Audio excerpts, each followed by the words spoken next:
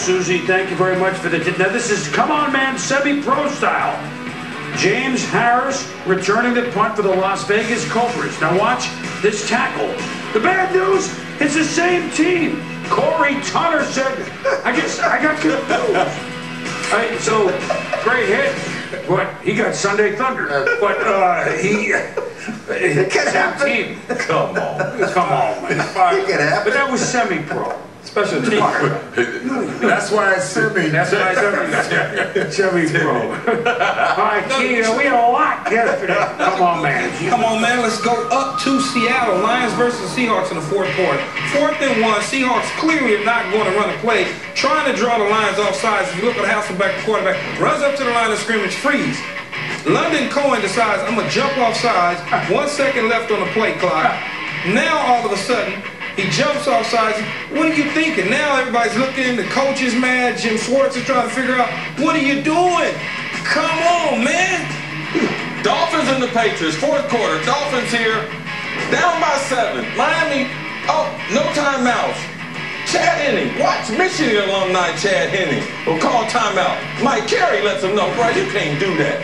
Remember the other Michigan alumni, Michigan man, Mike uh, Chris Webber there, 1993 NCAA championship, cost the Fab Five. Chad Henne, you know better. Come on, man. Well, we got the Cardinal Bears. You got to watch Tommie Harris, number 91. He gets mocked by Deuce Lutui. Watch what happens now. We go back and we pick him up. He's punching Mr. Lutui in the face. Oh. And I can honestly say, Tommie, that's the first time you hit somebody all year. Man. Giants special teams. We're going to kick a field goal. Well, the hold, Feagles, the kick times. What? What? Come on, man. And then Kevin Dockery. This is this is illegal, okay? You're coming backwards into Darren's bro. Come on, man. Boom, Raiders had a bye week, but not on Come On Man. We go all the way back to week 40 to Shane Lechler getting ready to make a tackle on Jacoby. Well, I can't get you. I might as well go and get some Gatorade or whatever we drink on the side right now. Week seven, Jamarcus Russell. I'm going to find the open, uh, but it's Jim Leonhard from the other team, the New York Football Jets. But I will keep you from getting in the end zone. And finally, Johnny Lee Higgins and Louis Murphy again redefining running a route in the same area. So on a Saturday, what route were you running? Well, what route were you? Come on, man. I couldn't stay away from the run. But you don't play, you have a bye week, you're at home resting, Nothing, no one's you're safe. off somewhere, Off. and you still get an opportunity to on national When you're the Raiders. Well, You're the this is what happens. Uh, that's very fun. I hope you guys enjoyed that. Everybody likes that segment. We like doing it. We miss the Raiders. don't we? yeah. Well, let's go to two of the Raiders' favorite guys.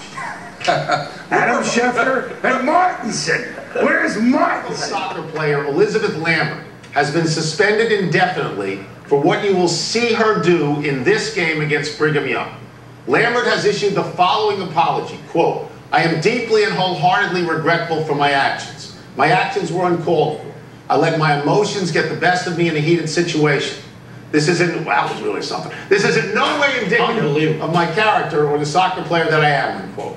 Wilmot is an indefinite suspension enough for Ms. Lambert. No. And of course it's indicative. Because it happened repeatedly. Repeatedly, she acted like a thug. Now, here's what you know. You know, I believe in vigilante justice, Yes, particularly do. in sports. Yes, you And do. I believe two of those women should have gotten off the ground and beaten the spit out of that girl. Yeah. Then they could have suspended her. That's what I believe. How That, about you, well, that takedown was tough. That hair pull Please, takedown. are you kidding That me? was really tough. I will tell you that I was watching this this morning, you know, at, at my radio show. And the people who populate the radio show are young men. They're, Let me guess what their reaction There are two basic reactions. When I saw the takedown, I said, whoa, she's got to go. Second reaction was, I'd like to date her. Okay, well, So then, I just- okay. I just bring This speaks to the I quality of people in your radio studio. I'll also say she's tougher than Adam character. Lambert, and she wears less eyeliner.